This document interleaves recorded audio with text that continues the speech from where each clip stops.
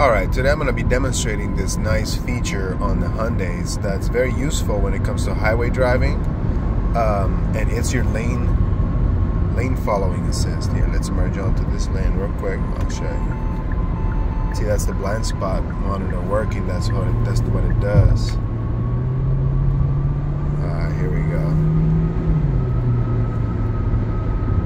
So we're driving, and as you can see, there is a green icon on the top right with two lanes. I press a steering wheel button and you'll notice the steering wheel with the green line appear.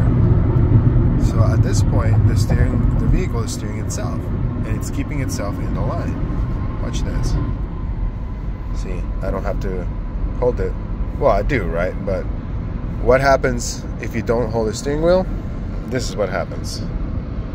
So I let go of it, and it's keeping me dead center. Of course, I'm paying attention to the road, but check it out.